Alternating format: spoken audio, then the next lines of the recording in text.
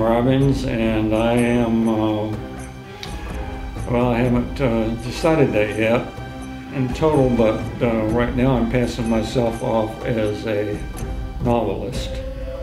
And the most dangerous writer in the world, right? I've been called, yes, by Italian, Italy's leading literary critic as the most dangerous writer in the world. My all-time favorite quotation. How did you get started with writing and words and letters? Well, I committed myself to writing before I was old enough to know any better. Um, for better or for worse, I hitched my little red wagon to the language wheel at a very early age. I actually began to talk and walk at nine or ten months. And my mother, when I was a still a toddler, maybe a year old, maybe slightly older, but still in diapers and rompers, she would take me to town and um, the shopkeepers and assorted other citizens and even tourists would give me penny candy or popsicles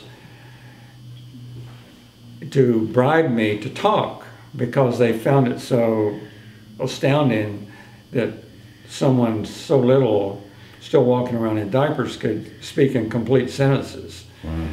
So I think that somewhere in the deep recesses of my little pea brain, I got the, the idea that language has power, that words have power, and not only that, but that they can garnish rewards.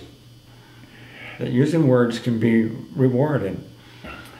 This was in uh, Blowing Rock, North Carolina, the highest incorporated town east of the Rockies, hmm. in Appalachia.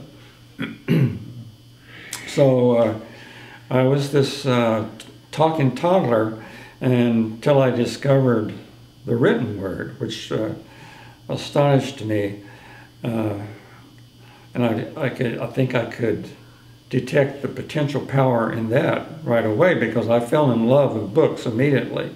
Before I could actually read the words, I knew that those glyphs on the wood pulp actually represented words, and uh, that absolutely uh, enchanted me.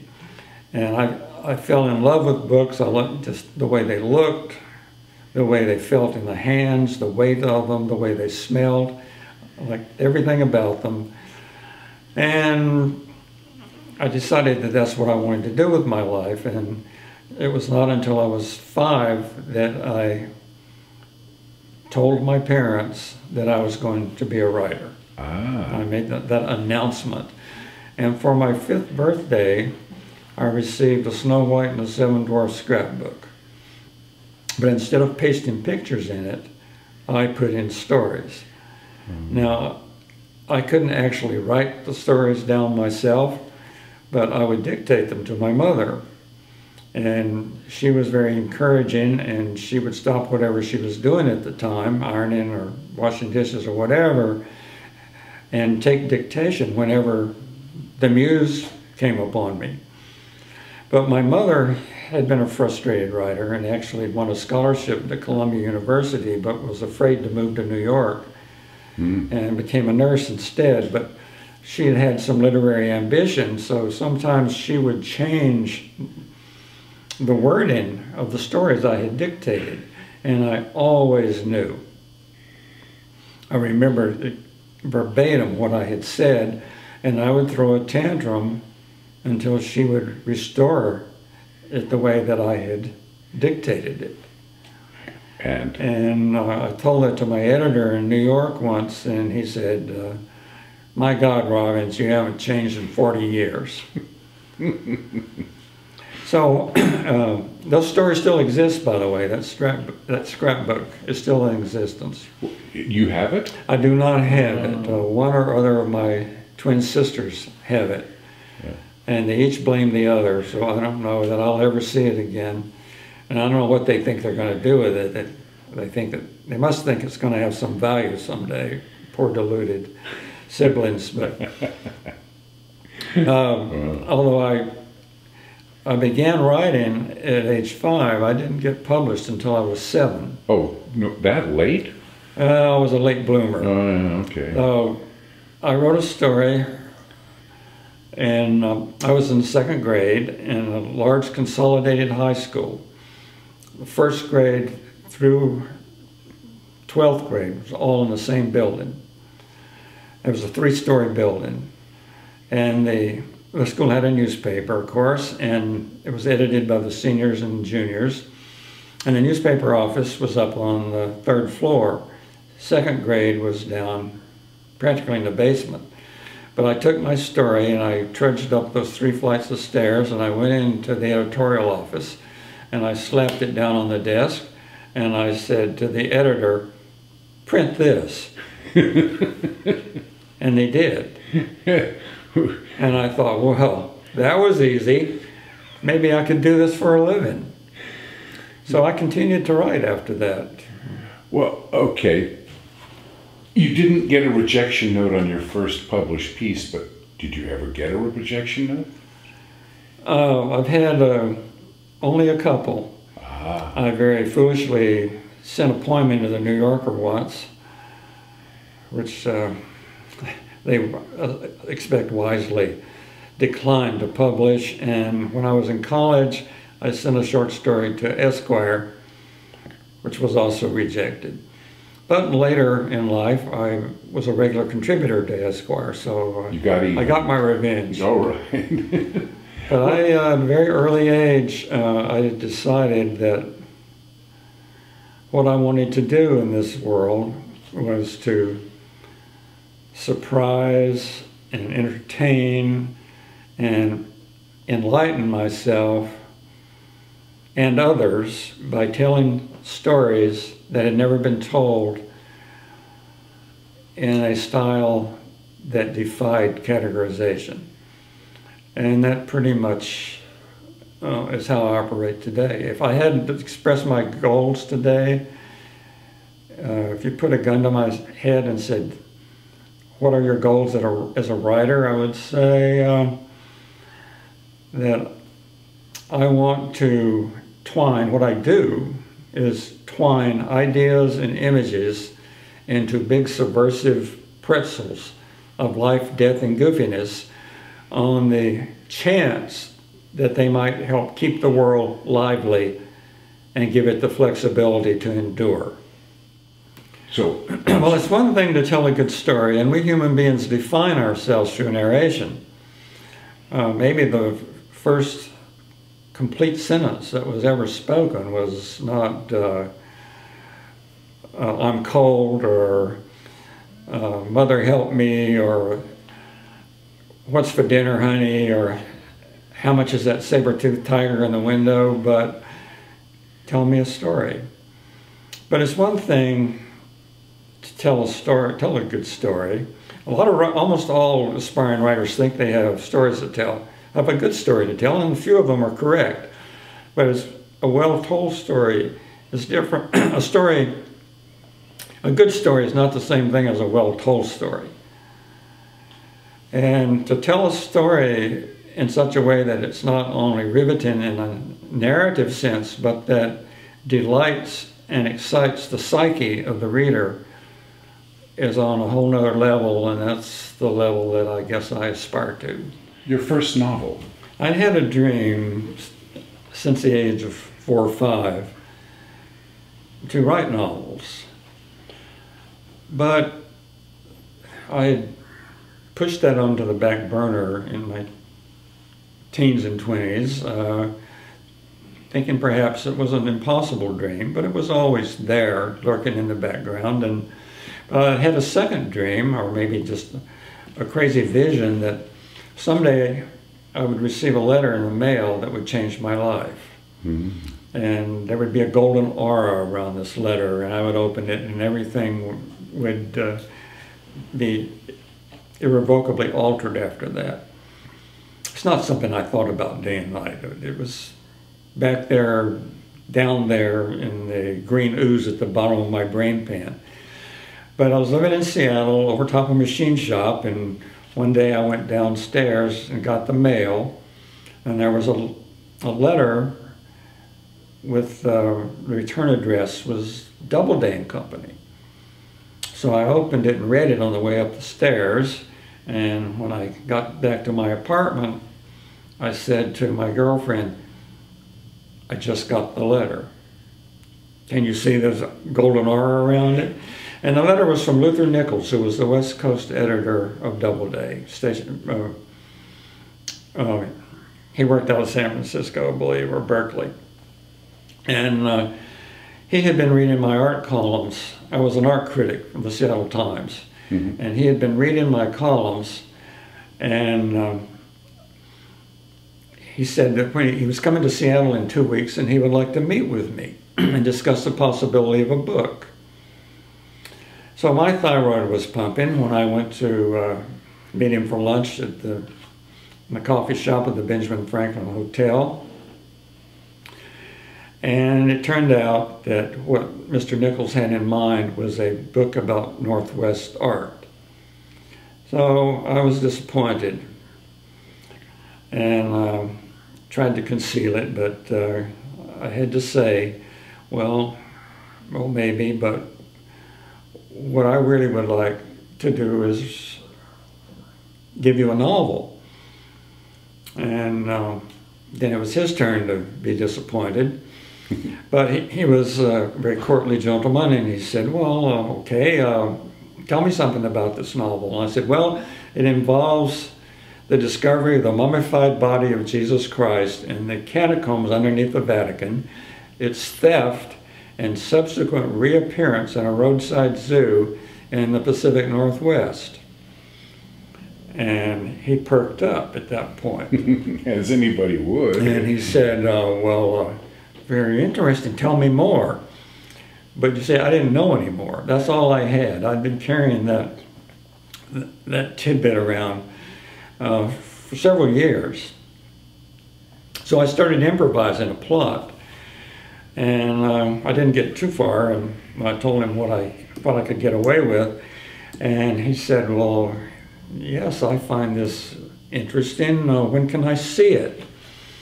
And I said, well, it's kind of rough at the moment because I hadn't written a single word of it. And I went home that day and told my girlfriend, I, I now have to write a novel. And it took me about a year to extricate myself from uh, the Seattle art world, and I finally did, and moved to the country where um, I could literally steal spinach and cauliflower and cabbage out of fields at night and midnight produce runs. I mean, we subsisted on that and what my girlfriend brought home from the seafood restaurant in which she worked. We lived on stolen produce and slops de mer. and uh, I, I wrote 30 pages, which I thought was a pretty good start. And I sent it down to Luther Nichols and he sent it on to New York. And the junior editors were intrigued. The senior editors uh, wanted no part of it. Uh, and I found out about that time that uh, Doubleday and Company had begun as a Roman Catholic publishing house. Uh. So naturally, uh, this plot line wasn't a big attraction to, to the, the, older editors. Uh, but Luther encouraged me to continue, as did the younger editors in New York. And so I wrote 70 more pages and I sent 100 pages off and then went back to New York and pretty much the same reaction. The younger editors really liked it. The senior editors uh, didn't see any value in it. So they refused to give me an advance. Ah. So I had to continue stealing cabbages and cauliflower and eating shrimp off of other diners' platters. And uh, but but by then I it, I was into it. I mean, it had taken over my life. Uh-huh. So there was no way I could stop at that point. So I finished it and uh, sent it back to New York, and it was somewhat the same reaction, except the younger editors prevailed.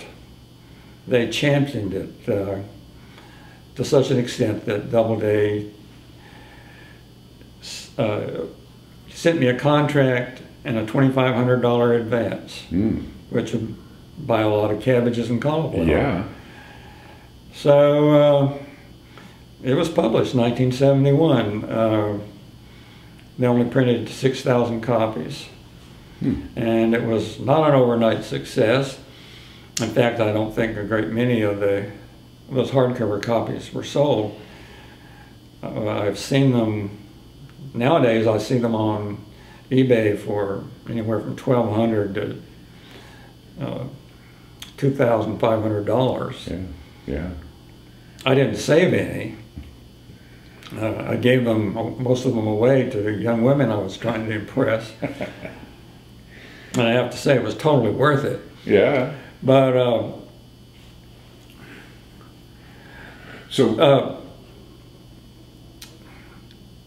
about that time, an editor at Ballantine Books, which was a mass market paperback publisher exclusively, um, was given a, a stack of books to take home over the weekend to read to see if there were any one of them that she might recommend to Ballantine to republish in a drugstore rack size paperback. Her name was Leonore Fleischer, and I worship her as, as one of the true angels in my life.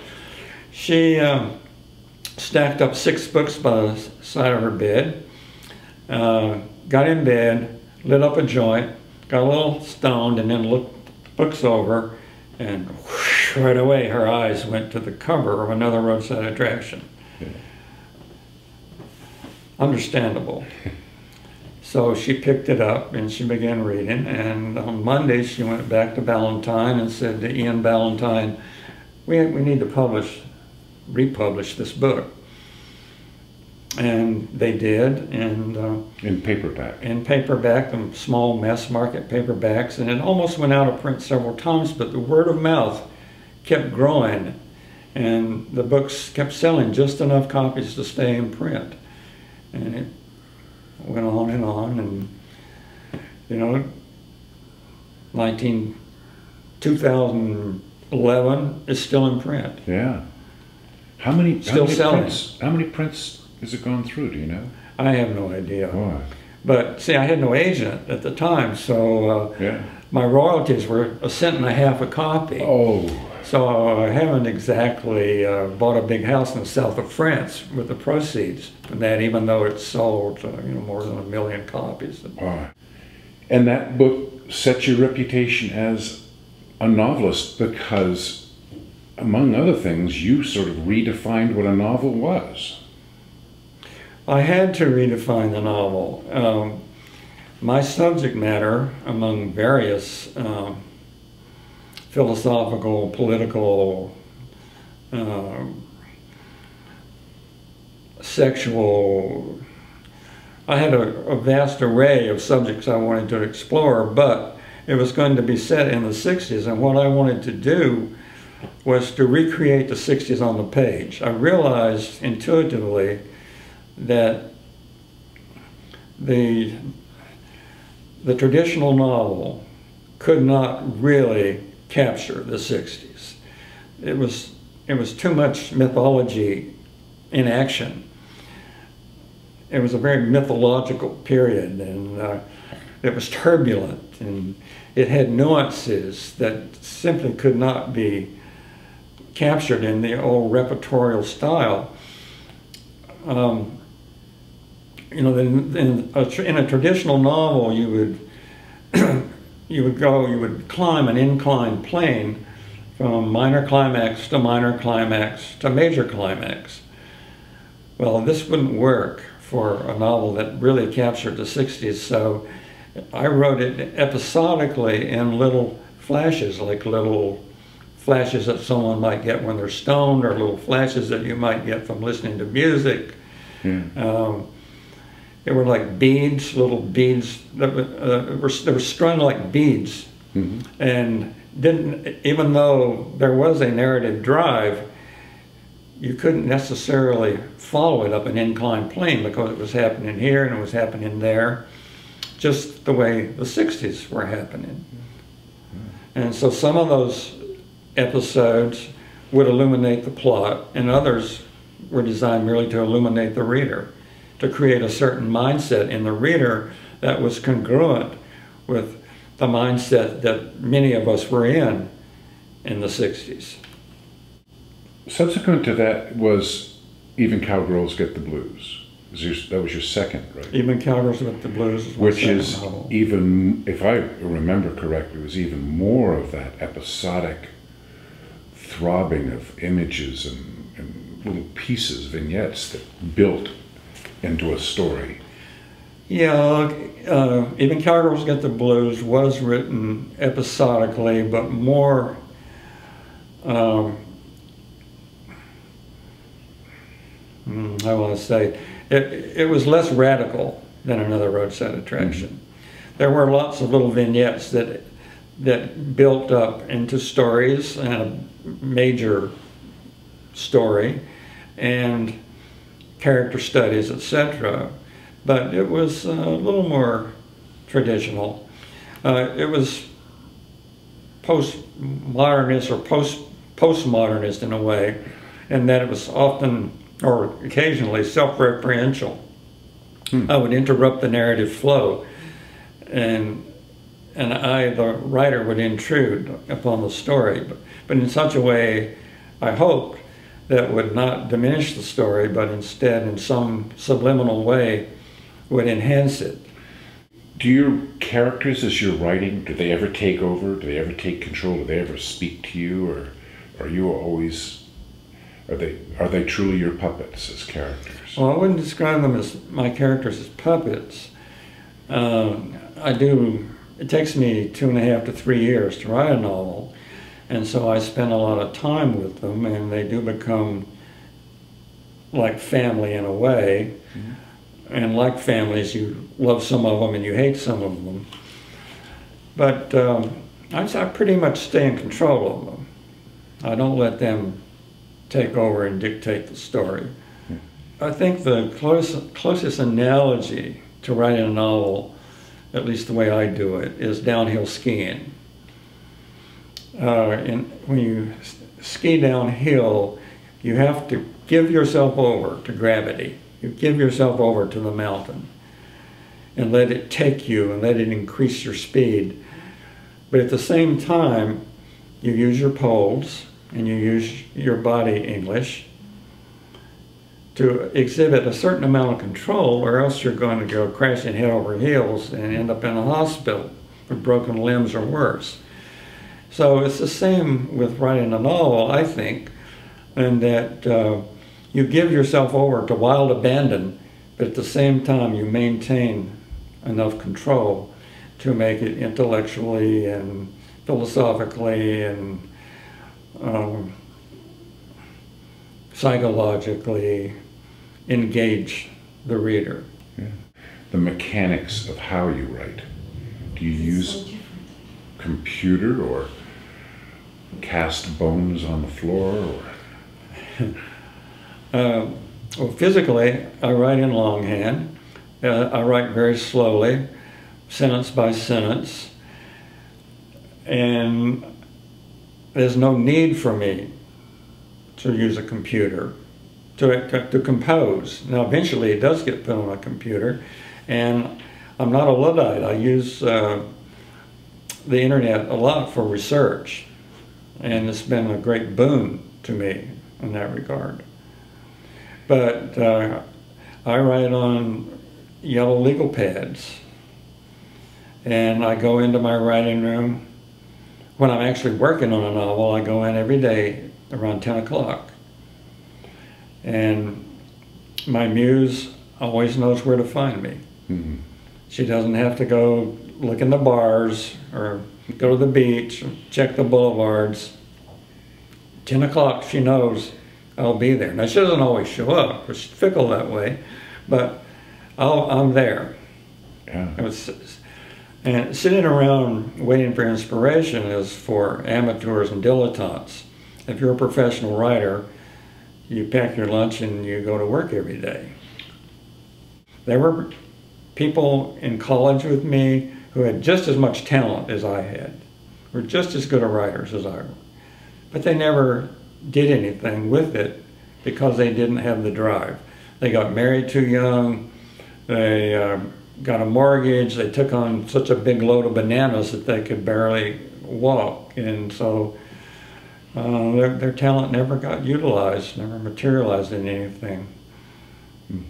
No, I don't keep a journal, and I don't. Uh, I never write down what I think is a good line or uh, a clever metaphor. Uh, they are generated by the actual work of writing. They they come out of the work itself. Uh, sometimes a metaphor will just pop into my head, but always during the act of writing. I don't have a little notebook in which I write down what I think are clever similes or metaphors. Um, when I use a metaphor, I try to use it advisedly and not never arbitrarily. Uh, I try to use it in a way that will heat up a scene, that will actually deepen the reader's understanding of the place the person, the thing, the scene that they are encountering on the page. So the metaphor has in some way to enlarge the paragraph or the, uh, or the particular scene, uh, even if it, if it seems to jump out of a trap door and yell in surprise, it's still, I hope, done in such a way that it enriches um, what I have been writing about on that page or in that paragraph. So it, it's not a gimmick. I mean, people have said it, it's a gimmick, but I mean, was Hemingway's short sentences a gimmick? That was the way Hemingway saw the world. Faulkner's long, convoluted sentences, were they a gimmick? No. That's the way Faulkner viewed the world. That's the way it came through his web of uh, of language. Uh, metaphors, particularly unexpected metaphors, are a way that I see the world. Mm. It, it's part of what I would call perhaps pretentiously a, kind of a, a, a poetics, a poetic vision of things. To be able to, say, walk down the aisle in the supermarket and see a can of Red Devil Lye and connect that to 13th century Christianity. And there is a connection there, but if you have, if you maintain that kind of awareness, then these things pop up all the time, and and I think that they can enrich uh, fiction and probably nonfiction. Yeah, I use metaphors in nonfiction as well, though not as often, I suppose. Yeah, uh, I only I only write one draft, and. Uh, a lot of academics look askance at that. A lot of other writers look askance at that. But it's, I revise as I go along. It's not that I haven't revised. I don't, it doesn't come out of me in uh, streams. I don't, it, it isn't uh, an eruption uh, as it is with some writers. It comes out of my brain pan one sentence at a time. And I try never to leave a sentence until it's as good as I think I can make it within the within this, this context. And um,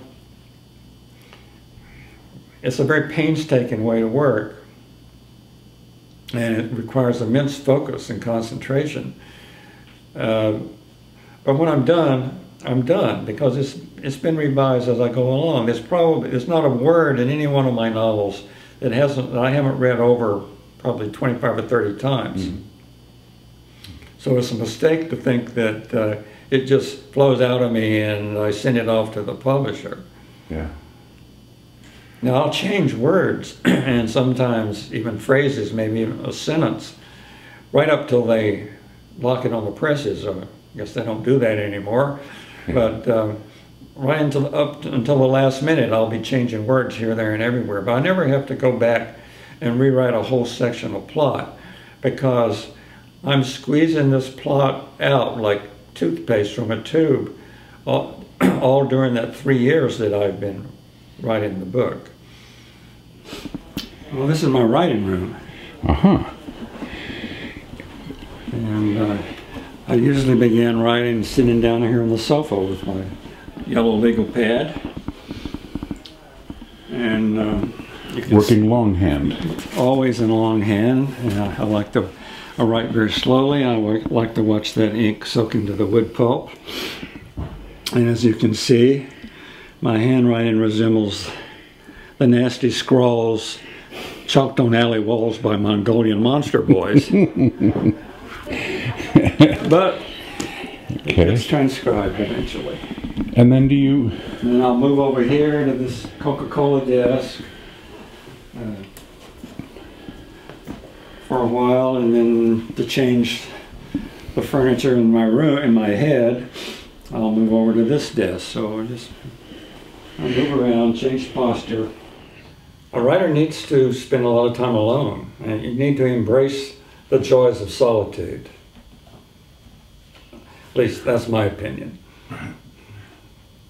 so forth uh, to give advice to young writers, aspiring writers? Got some? Yeah, I, sure. I have advice. So my first piece of advice would be stop worrying about getting published and concentrate on getting better. Nice. Because if you make your book good enough, then it will take care of it itself. nice. It will get published. Uh, secondly, you should challenge every sentence you write. Challenge it for accuracy, challenge it for clarity, challenge it f- for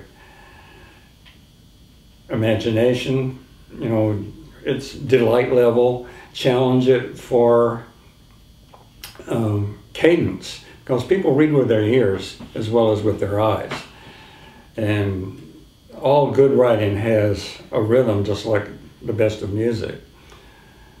And then I would advise them to, if they're not already in love with language, take language out on a date and see if you can't get some chemistry going. See if you can't hook up and become a couple. Because books and stories are made of words. Uh, Every writer, every aspiring writer thinks he or she has a good story to tell. But having a good story, a good story is not the same thing as a well told story.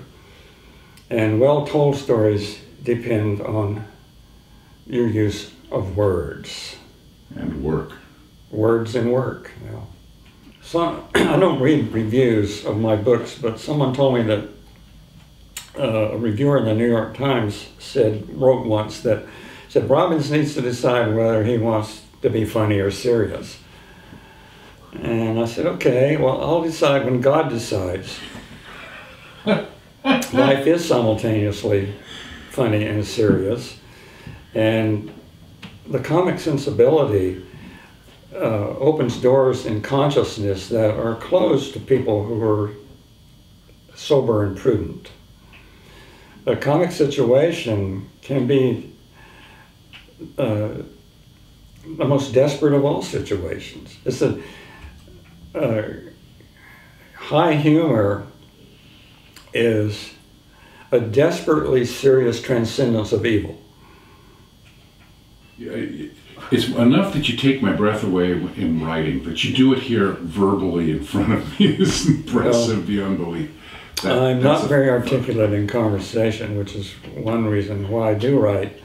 I was never able to say the things I really wanted to say in the way that I wanted to say them in conversation.